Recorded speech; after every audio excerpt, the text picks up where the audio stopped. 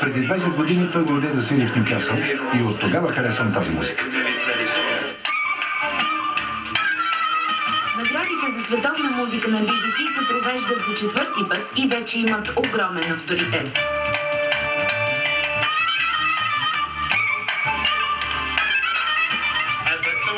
Иво Папазов е известен. Лично аз познавам и обичам музиката му от години. За първ път го представих, може би, преди 15 години. Съпругата ми също дойде на концерта и беше много, много бременна и въпреки това танцува като луда цяла нощ. На следващия ден се роди първото ни дете. Така че аз винаги съм чувствал силно вълнение от музиката на Иво. Аз спечелих наградата през 2003 година в категорията за европейска музика и нека да ви кажа, хората, които участват в този фестивал, не се стремят към награди. Ние, музикантите от малките страни, като Португалия и България, трудно си пробиваме път заради разликата в езика, в културата. Хората не знаят дори къде се намираме. Когато обаче спечелиш, хората се забелязват и много врати се отварят за теб.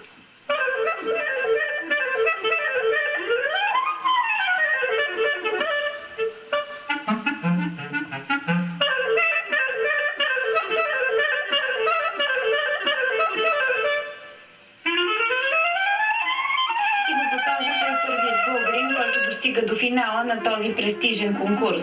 Номинациите за него се извършват от Ломекс, един от най-авторитетните световни музикални форуми, както и от специално жури на BBC.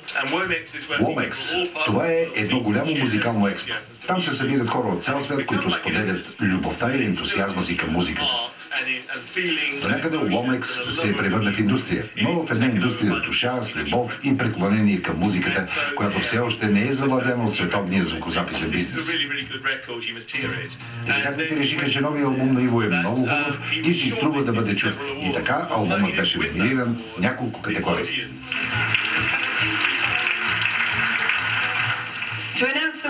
Победителят ще обяви един от най-големите продуценти на фолк и рок музика в света – Джо Бойт.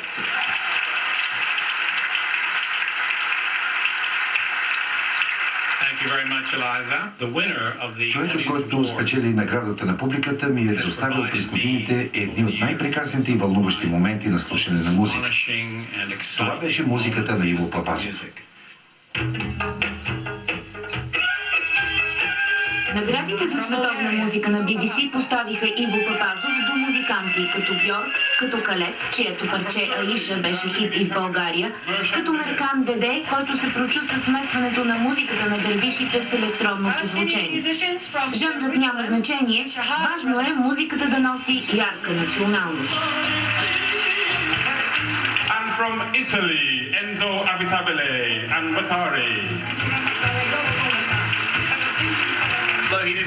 Макар че Иво не спечели наградата за Европа, публиката гласува масово за него и по интернет, и по телефона. Победата му беше смазваща. Той спечели с пъти повече гласове от другите музиканти.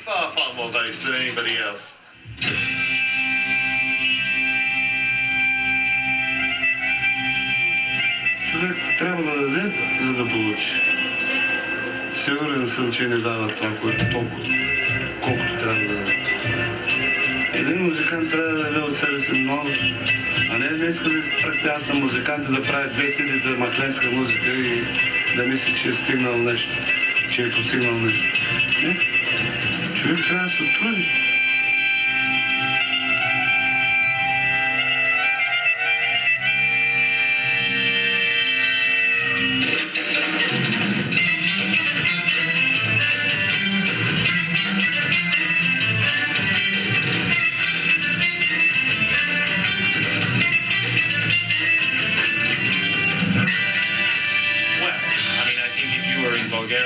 Човек посетил България през 1987 би било невъзможно да пропусне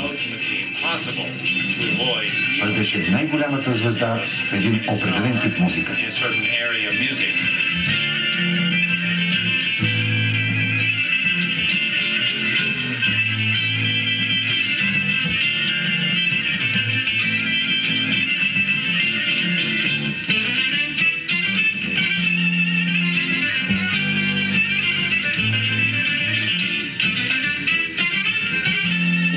На 80-те години за такава музика не се говореше.